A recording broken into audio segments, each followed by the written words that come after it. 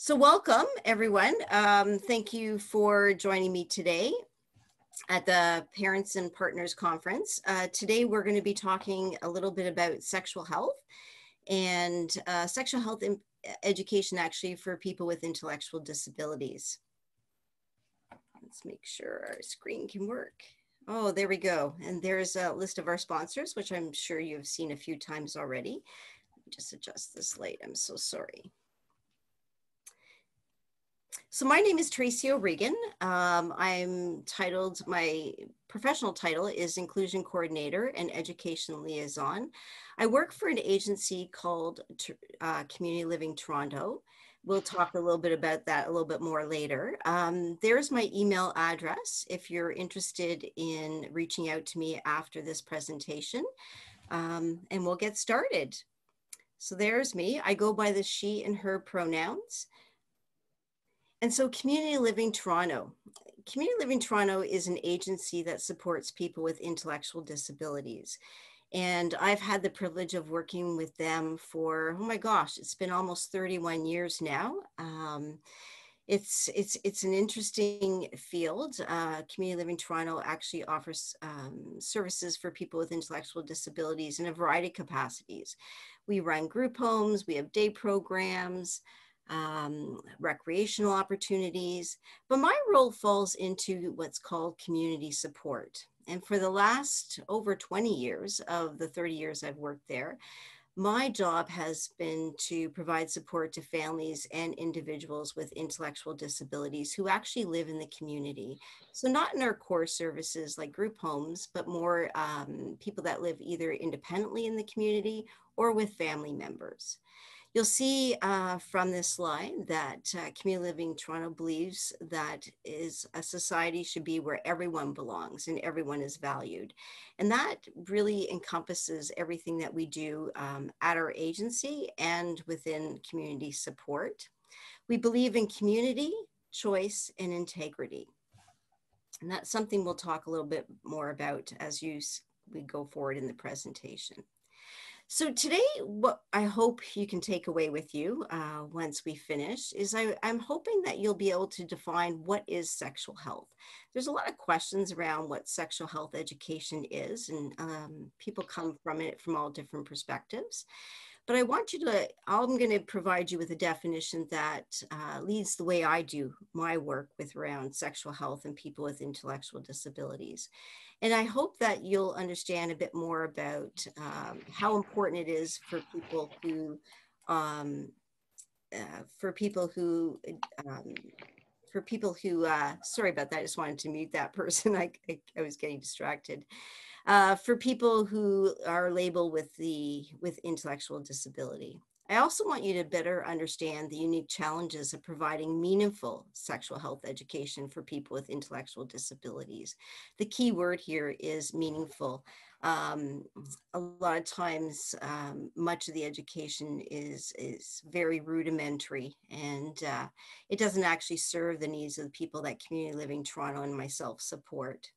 And then I want to um, provide you with an example of a program that we've created at Community Living Toronto, and one that I've been running for approximately 15 years now. And it's called the Relationship in You program. And hopefully, uh, it might be a program that you might think may benefit you, uh, your children, and your students if there's educators in the audience. So just to take a minute, and I know we're a little um, behind here, but I want you to think back to what comes to mind when you think of sexual health education. Do you think, think back to maybe if you had the privilege of having any sexual health education in um, schools, or maybe a family member or one of your children, just take a moment to think a little bit about what comes to mind when you do sexual health education.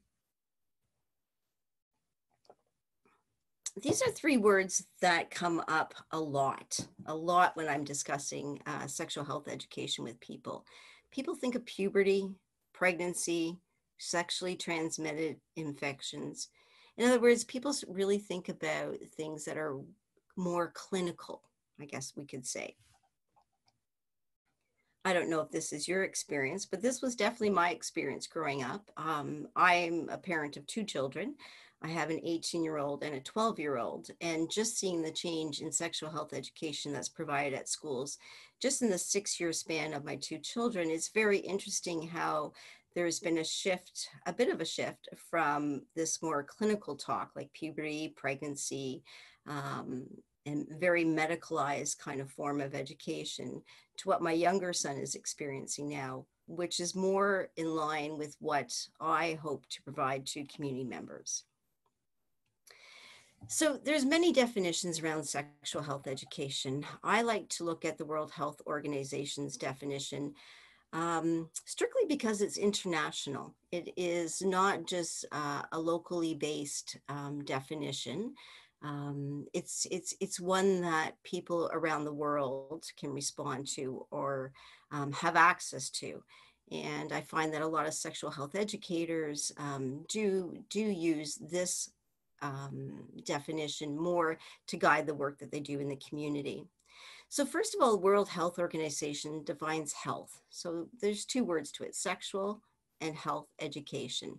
So they define health as a state of complete physical, mental, and social well-being, and not merely the absence of disease or infirmity in other words, you know, just because one may not be sick at the moment or suffering maybe from a mental illness or some other kind of um, illness doesn't mean that they're necessarily in a place of well-being. Okay, it's very, it's a very interesting distinction.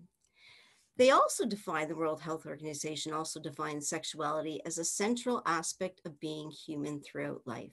So sexuality is just, um, it's a normal human response. It's a typical human response. Um, but we'll see later on how, even though it is a typical response, people come at it from many different perspectives.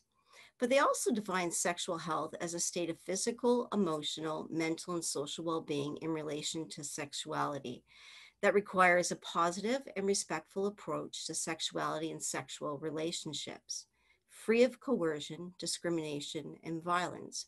So they go on to expand it a little bit more. And so, in other words, sexuality is not just about what our body does and what we do with our bodies. It's more than just the medical, it's more than just the physical.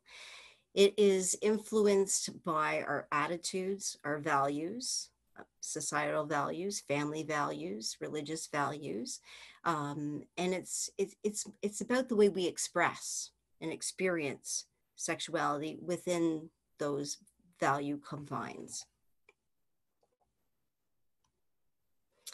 Sexuality does not take place in a vacuum. I mean, I think most of us, um, many of us know this, um, but it's always good to, to remind ourselves um, that sexuality is shaped by those things around us, whether it's biological, psychological, economic, um, issues, religious, you know, values, spiritual factors. There's a lot of things that influence how we experience our sexuality and how we express our sexuality. Some of those things we have control over, and some we have less control over. And this becomes really important, especially for the people who identify as having an intellectual disability. There, we'll find out a little bit later that there's more um, constraints coming from external people than there are from them themselves. So sexual health education is also about social justice. So having access to appropriate sexual health education helps dismantle gender inequity, sorry, sexual violence prevention, sexism, homophobia, racism, ageism, ableism, and we can go on. Um, and the reason it, it has that influence on social justice issues is that the more we talk about sexual health, and the things that it encompasses, the more we start to have a conversation about those other things that may be influencing us. So, for instance, if we start to learn a bit more about this different sexual orientations, let's say gay or lesbian, um, it brings up conversations about what could be the inequities people who identify as being gay or lesbian um, may have. And it helps us to dismantle and those kind of issues in society, which might be affecting the way we're able to experience and express our sexuality. About 15 years ago, 10 or 15 years ago, it was, it was kind of a fluid process. From my work working with families, I started to understand and listen to them and hear their concerns about um, opportunities that they wanted for their children, uh, whether they be very young children at that time or even adult children. And many of the things that came up was about relationships. Relationships are a variety of ways. We can experience relationships in a variety of ways, and we'll we'll delve a bit into that a little more. Um, but as the family members talked about their loved ones, their children, um, and sometimes siblings, because sometimes I would meet and work with siblings, I started to understand that there was a feeling of social exclusion. These families felt their children and they themselves had been socially exclu- excluded because their children had been labeled with an intellectual disability putting that together with my interest in sexual health education, I wanted to talk to individuals who were over 18, um, who may or may not be living with family members. So some of them were living in communities. And I wanted to better understand what they wanted, what they identified as being the barriers for themselves to participate in their communities. And the three main themes that came up were they expressed that they wanted relationships, whatever that looked like. They wanted to make choices and they wanted to decide what help they needed. And we'll go into those in a little more depth. So with regards to wanting relationships, it's it, relationships are a very interesting um, people have very different point of views of what a relationship is. I know when I approached the work and started my interviews with these individuals, I was thinking more of intimate relationships. And what they clearly said to me, very clearly uh, and quickly, which I appreciated, um, was that relationships were more than just about intimacy. Um, for them, relationships encompassed a variety of associations, including platonic friendships, sexual and intimate partnerships, their family relationships, and relationships that they made through either volunteer employment experiences or just being part of their community. And they wanted to choose what relationships they had access to.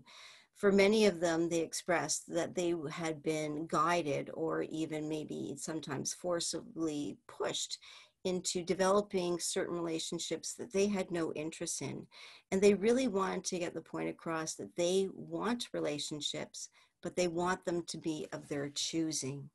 So, in other words, they wanted to make choices.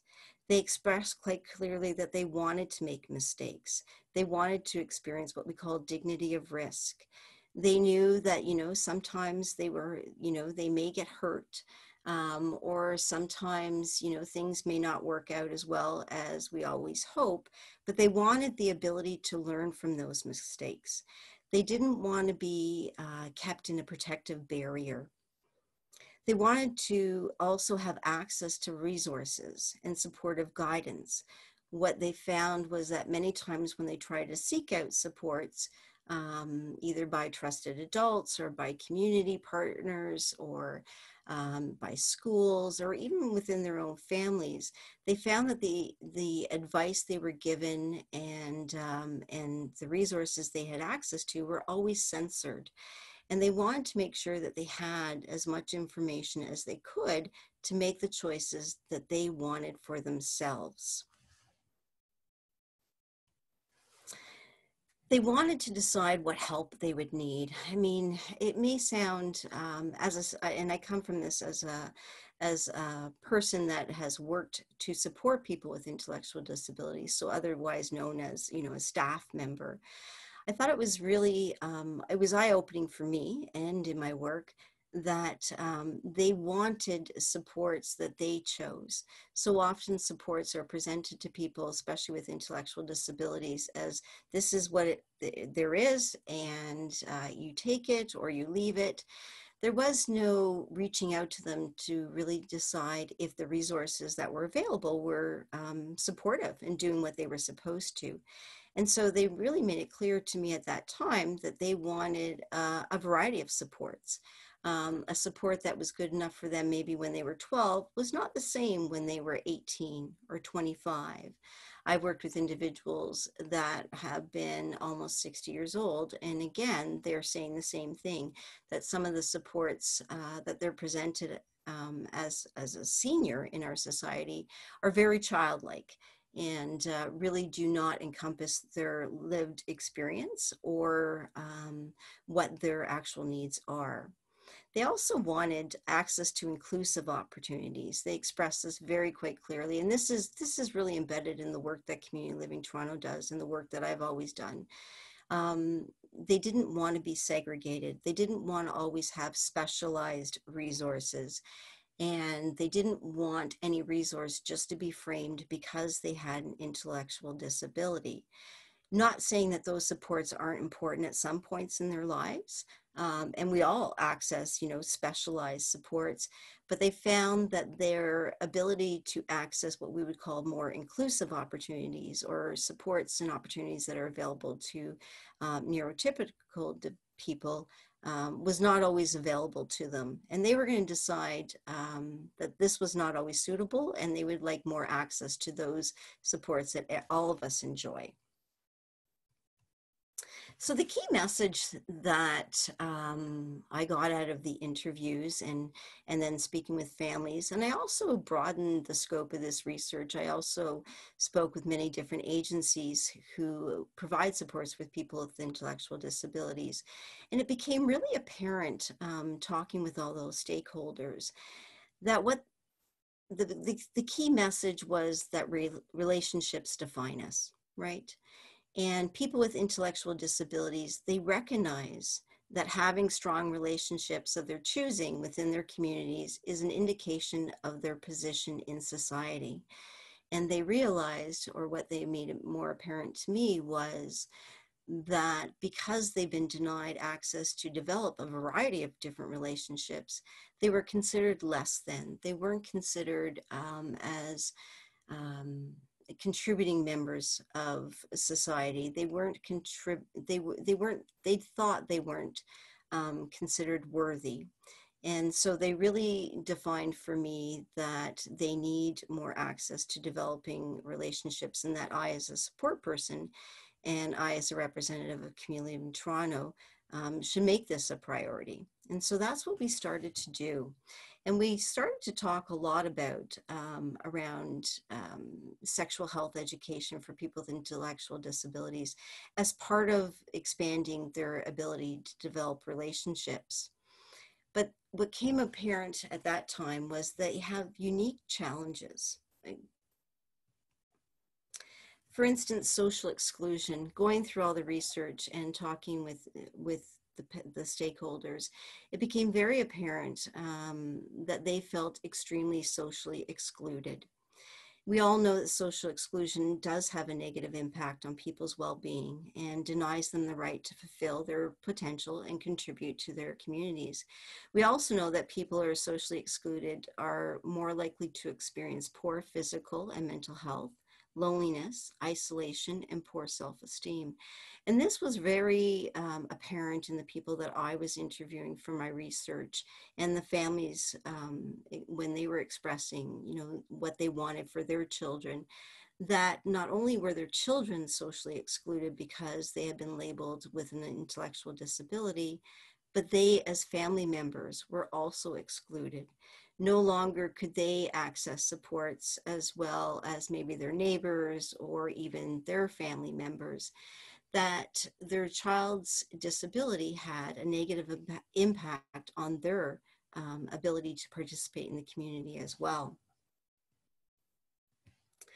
A particular challenge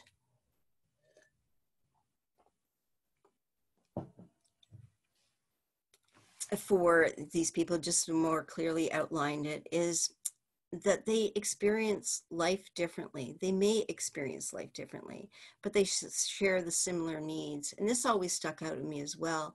There was a very long conversation about uh, the term special needs and how offensive some of these adults who had been living with a label um, for, for, their, for, for their entire lives, how they felt that their needs weren't special and that when people gave them that label as having special needs, they found it almost offensive because what it did for them was it created them as the other. So, for instance, what they pointed out to me is they have the same needs as everyone else. They need to go to school, they need access to medical care, they need access to recreational opportunities, they need access to their communities how they may access those may be a challenge uh, and they may, may need a particular support to do so, but that their needs were the same as everybody else. They also mentioned that they have lack, lack access to activities they prefer or desire. And here, this is what I was mentioning earlier many times um, these individuals expressed that they had, you know, wanted to join, let's say, a painting club or a hiking group or whatever the activity was that they wanted. And what they felt was that most people try to push them into maybe a segregated kind of program. So it would be more of grouping people just based on the fact that they had a disability and not based on the fact that they um, actually shared a love of something. Um, you know, there was a group that mentioned, you know, we would hang out in this hangout um, but we didn't want to hang out with the people that were there. They also found it very offensive that for many of them, um, as even as adults, they found themselves grouped into programs with very younger children, um, and that said a lot to them. It really did. That that their lives as as having an intellectual disability was almost like people were looking at them like they were children. So they made it very, very clear that they wanted to um, choose programs um, and community access based on their preferences and not based on their disability. When it comes to sexual health, um, when I delved more deeper into the research um, in the community and with these people that were good enough to participate, I started to realize something else. Um, they informed me that many of them were actually denied the tools, and I mean denied the tools to participate and learn more about what it meant to be in safe um, and healthy sexual relationships. For some of them, they did share with me that even during school, um, certain topics were not presented to them, even though they were presented to the larger um, student population. It was almost felt that they wouldn't be able to understand or they wouldn't be able to appreciate it. Um, or there was also um, ideas around, well, they'll never be sexual um, or be in a sexual relationship, meaning the physical sexual relationship, and therefore didn't need access to the information and they expressed to me how detrimental this was to their ability to establish relationships, their ability to establish especially sexual relationships, because they did not have the same knowledge as their peers. One other thing that became very apparent too was, and this is the third point down the slide, that many of the people um, that I supported uh, in the past and that Community Living Toronto supports now have been taught to be compliant and they therefore may not know their rights um, when it comes to sexuality. And they also need consent education. Um, and that consent education goes beyond sexual health. There's many times they express that, you know, as a person with an intellectual disability, whenever they would try to express their needs um, or express dis, uh, displeasure with what they were provided for, they were considered what's called, um, it became a behavioral issue. Instead of really trying to understand what was um, what was happening and what they were trying to advocate for, they were told to be compliant. And compliancy can be very dangerous, especially for people with intellectual disabilities, especially when we know that um, many individuals that are supported by Community Living Toronto and other agencies in the community um, have a very much higher risk of experiencing se- sexual abuse because they're unable to express boundaries. They haven't been given the opportunity to, to be taught um, issues of consent and self boundaries, and therefore it's putting them in harm's way. So I was very mindful of that when we discussed and decided to create a program around sexual health education. So, what we came up with, um, and I say we, it was myself and a master's student of education actually that I was supervising. After interviewing and going through all the uh, research material from our interviews, we decided to create a program um, or not a learning opportunity. I don't even know if I like the word program, uh, a learning opportunity for people who identify with having an intellectual disability. We decided to call it Relationships in You. And there's a reason we did that. It was very intentional. Although our when we started, it was um, our main goal was to provide you know appropriate um, sexual health education we started to realize that that was too narrow, that we needed to provide um, some tools and information that would help people with intellectual disabilities feel less excluded and to give them tools to participate in their communities um, as fully as they wanted to um, and teach them how to advocate for themselves. And so in our program, um, what we do is we focus on the word relationships because everything that we do is a relationship. Um, the minute you and I go out to a store, there's a relationship between um, as consumers. If we go, let's say, on the TTC, we now have a relationship with the other people, the other passengers on the bus. We have a relationship with the driver of the bus everything we do is about relationships.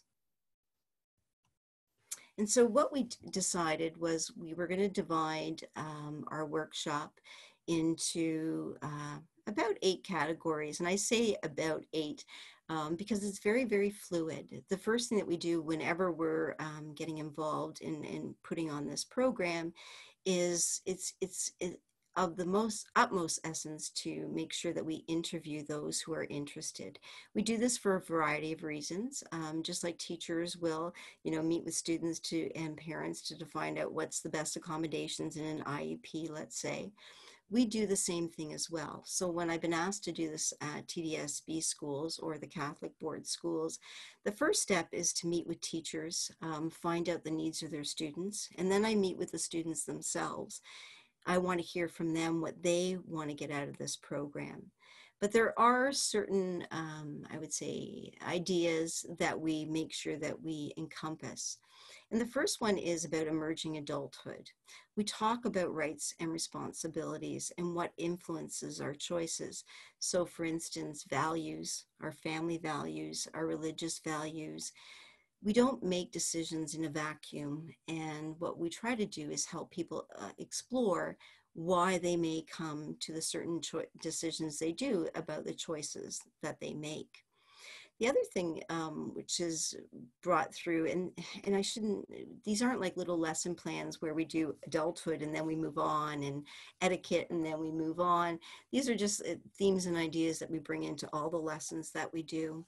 So etiquette is um, one that can be quite hilarious to go through. Um, the first thing is explaining what we're talking about is manners and that there's different manners and different etiquette for different situations many times in my work, especially when I was working direct frontline supports, um, I would also often hear the phrase, oh, don't worry about that. You know, if someone was uh, maybe not going to, when they were going to the bathroom, they weren't closing the door, or maybe they were, you know, blowing their nose at the dinner table, those kind of things. And it was, there was almost, um, uh, and an excuse made for those people that um, you know don't worry about it you know they're just they're just disabled. And i found that language extremely offensive which i'm sure most of you would too because it's it's it's saying that people with intellectual disabilities um, are childlike and it's saying that people with intellectual disabilities don't have the capacity to learn And what I found when I was interviewing many of the adults was that a lot of times they would find themselves in trouble. And this I did experience firsthand when I was providing actual coordination services for many individuals, is that they would get into trouble um, either with the law um, or with members of their community because of the way they were behaving. And it became very apparent that they were never taught the different etiquette rules for the different types of relationships. Um, so it's something we focus a, a lot on throughout throughout our program. A big thing for us is to make sure people I, I start to understand more about self-esteem and self-confidence, which are two different things. Um, as we go through it a little bit more, they start to understand that and can differentiate. But basically, what we're talking about here is how do um, we perceive ourselves and how do others perceive us? So, giving them um, an opportunity through activities to voice what they think of themselves and what they think, how they think others perceive them from um, acknowledging some of their lived experience. And again, of course, we talk about healthy relationships, uh, consent and choice. Consent and choice is talked about all the time um, and what it means to be in an unhealthy relationship and what it means to be in a healthy relationship um, about respecting uh, an individual's right to choose. Of course, we talk about human development. We do talk about the medical side. We talk biology, reproduction, sexual pleasure, orientation and identity, and the list goes on. We do spend a lot of time on those and we make sure that it's age appropriate and we make sure um, for many students especially if the ones especially if i'm doing this for classroom students um, this is something we discuss with parents as well whose children might be part of the program. This is i'm, I'm just going to walk you through. Unfortunately usually if we're in person what happens is we do end up playing a couple of games but we also set up i tend to set up um, a table of all the resources that we um, that we provide um, depending on the needs uh, of the students and the community members. And one of the games they like to play is called the relationship you true or false. And just to get a sense, we won't go through the whole thing, but just to get a sense, what we do is we would show, let's say, a picture like this, and we would have a caption, have, you know, have the right to choose who you touch and who touches you. And it's a question, and true or false and it's really interesting. I mean, eh, you know, of course, I think most of us would say, of course, right? That's true. We have the right to choose.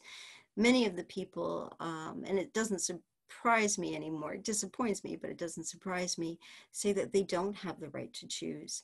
And so, just a simple question like this and a picture like this allows for a lot of discussion on um, how they um, feel that they have, you know, not maybe as much ability to express their needs and wants, and what might be interfering with that expression. And this picture is is goes back to a lot about what we were talking about um, with consent and choice, right? Something as simple as who touches you um, many of the people that I've supported and who have participated in the program have expressed to me that they don't feel that they have the right to do this. So it brings it, the small little picture and the small little statement brings in um, many concepts uh, for discussion. Another exciting game, and I know it doesn't look so exciting on a board when I look at it like this, but it's called the dating game. And as you see, um, you walk around the board and there's some, you know, interesting pictures uh, on the board. And every color, so the red, red is the right for me, the gold, what if, the green, meet and greet, and the blue, loves me, loves me not, has a corresponding set of questions that come with it. And just as an example, just to show you what might happen if, you know, if your little, uh, um, if you're, we usually use money to go on the board um, to get away from that little sign of man or woman. Um, if you land on one of the spaces, this might be um, one of the questions that you might be confronted with. We allow um, whose ever turn it is to answer the question first, and then we allow others for extra points um, to maybe contribute to those answers as well. So one of the questions could be something like this the person I want to ask out is the same gender as me. Is this person right for me? The person I want to ask out is the opposite gender as me. is this person right for me? And I think you can see from this question that this goes back to when we talked earlier about social justice and sexual health education. It starts to bring up um, a lot of conversations, not just about dating. Um, it brings up questions and discussion around gender identity. It brings up questions around homophobia. It brings up questions and statements around value statements and religious statements. And I find that sometimes um, the discussion can get a little heated because um, people are very passionate about their values and how they've been brought up but it really also teaches people about compromise and it teaches people about empathy and thinking of others in the room something that sometimes they have not themselves experienced. So it's not only allowing them to support their peers um, but it's allowing them to develop those skills around empathy and uh, looking at things from a more social justice point of view Another question, um, the person I want to ask out is a staff person. Is this person right for me? And the person I want to ask out already has a boyfriend or girlfriend. Is this person right for me? I like the top question in particular as a person who would be considered, I guess, a staff member. Um, and this could be an EA, an SNA, or it could be uh, a staff member in a group home, or even a camp counselor, all those kind of things. And a question like this, the person I want to ask out is a staff person helps develop um, more uh, broaden the discussion around consent and about abuse prevention. Although I don't try to approach my work um, with the stranger danger kind of model, I do want the people who participate in the program to be able to make informed choices. And it, a question such as going out with a staff member really shows, um, you know, it, it re-emphasizes that they have control over their bodies.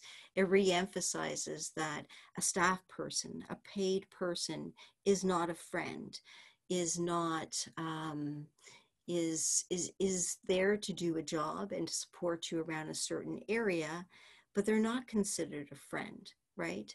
And that if these are the only people that are around you which are staff people then maybe that's a point of um, of looking around to develop um, other kind of friendships that are true friendships that you and i might experience This is another game. It used to be called, excuse me. Um, this is one that we use. It used to be called Partner Poker. And I, we don't usually use that title when we're playing it, especially with younger people. But if any of you have played poker, you kind of understand the, you know, um, some of the rules behind it. So this is a set of four questions. I know it's put on your screen. It looks like two big questions, but it, picture these in four.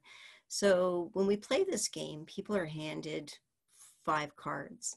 And together as a group or individually, um, we go through the cards that each person has been dealt. We call it the hand you've been dealt. And we look at the qualities as if this is a person that we may be interested in dating and people go through it and you know they make a variety of choices. No i don't want someone that's bossy or yes i do want someone who likes to exercise or maybe i don't want someone who likes to exercise because i like sitting on the couch.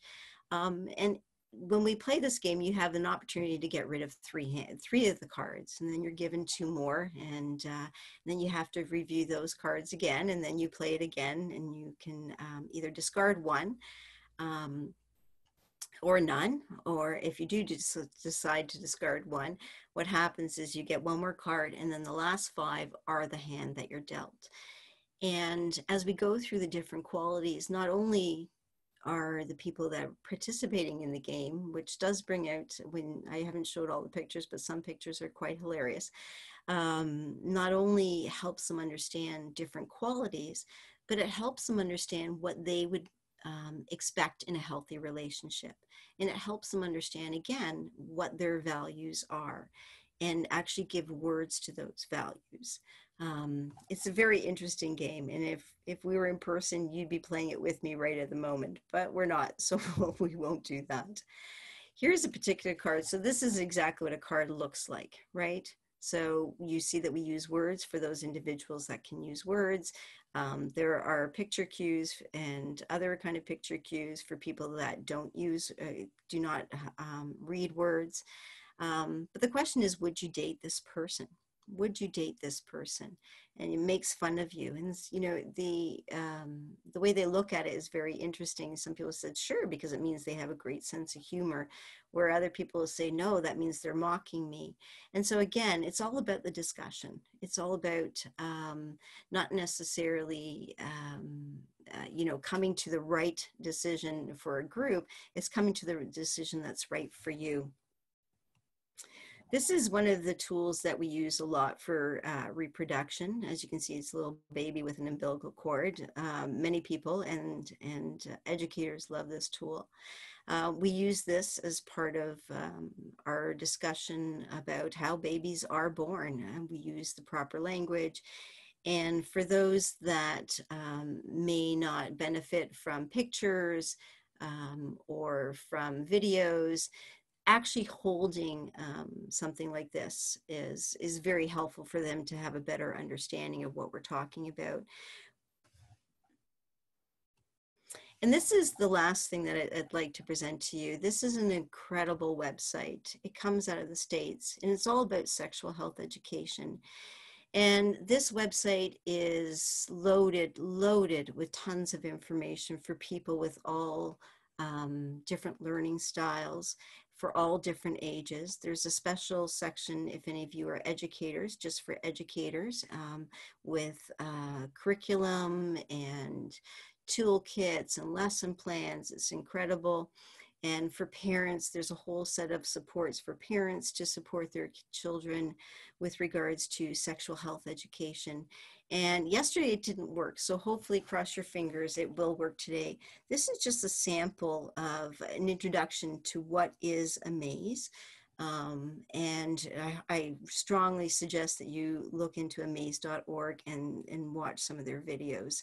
Uh, they have videos on puberty, masturbation, uh, anxiety, mental health, um, all kinds of things, birth control, a variety, a variety. And they're all um, made for different levels. They're actually um, structured. So if your child is under five, or if they're in middle school or in high school. So there's really something there for everybody. Oh, it's going to work.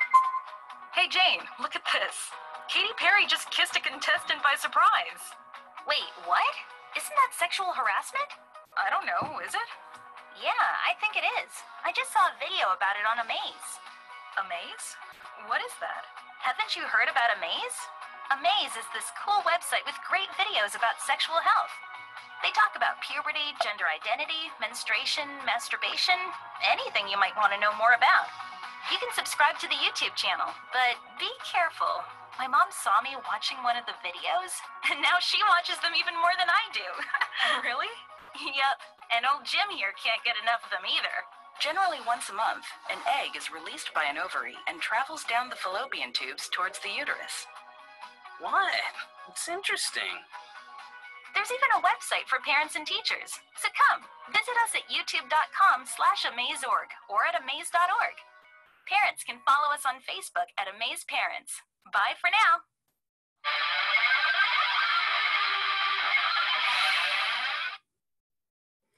So that's just an example. And um, the character is one of the characters, uh, her name's Jane, that you see in a lot of the videos. Um, so I thought that was appropriate just to introduce Jane because uh, a lot of people who use this site always talk about, well, Jane said, and I've had students say it to me, but Tracy, Jane said.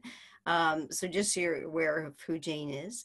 Um, it's an exciting website, it really is. It supports a lot of the work I do. Um, and I find it useful not only as an educator, um, as a community uh, supporter of, you know, teaching sexual health, um, but also as a parent. I have used it for my own um, supports too when talking with my children. So that's the end of our presentation today. Um, if there's anything that you would like to, I'm going to try to stop sharing the screen. Um, and if you'd like to put anything in the chat, that would be great. Um, and hopefully I can answer any questions that you might have.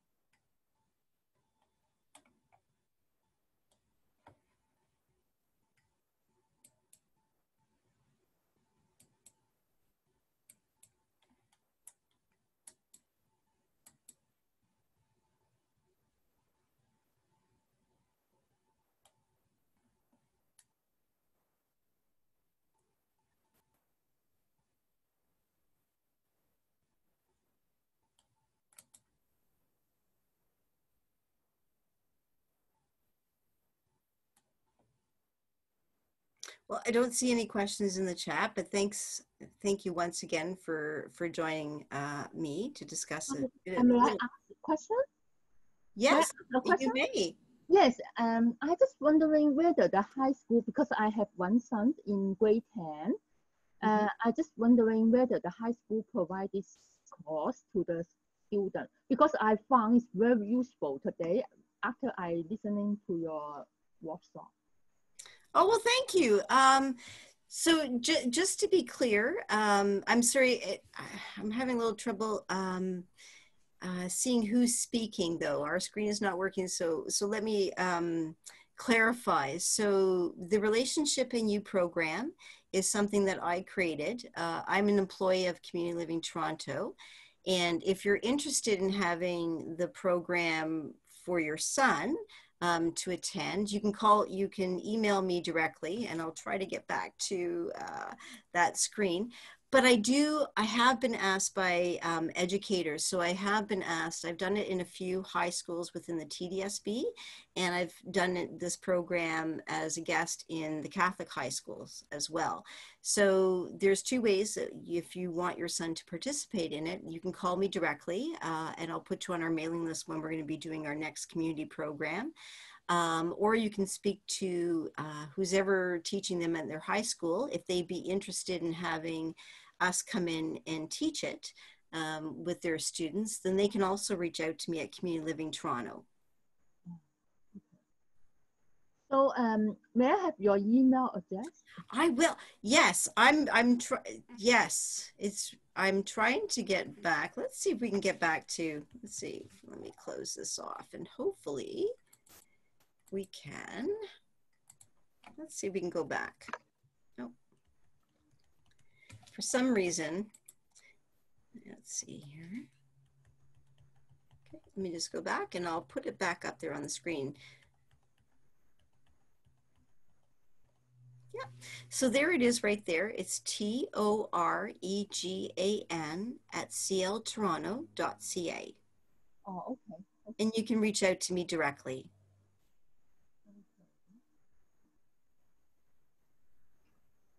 Okay, yeah, thank you, thank you. Oh, my pleasure. Is there anything else? Uh, no. Hi, I had a quick question. You were mentioning, thank you, Tracy. You were mentioning about the game, the poker game. What was the full name? And is this something that we can buy, we can purchase, we can look up and buy? So, um, we it used to be called partner poker. Okay, um, and um, there's, I mean, I mean, I hope you appreciate what I showed you is just like a sliver, a sliver of the games and tools that we have it's not for sale and it's not something I created. So uh, it comes from uh, Public Health in Waterloo. If you do you have access to email? Uh, yes, I do. You do. So if you email me, it's something that I can send to you for free. So it comes in PDF cards. Excellent. Thank you. And that's that's a resource that we can send right out. And do you recommend that kids play this game uh, by themselves so that they're just that, or you have a, a yeah, you know, that's a really good question. So, and again, my example is just the one way we play it, right? Um, tip, sometimes I've even done it with adults, like just typical adults when we're learning about sexual health education. And the amount of discussion that you can get out of just one card, you randomly take out one card, right?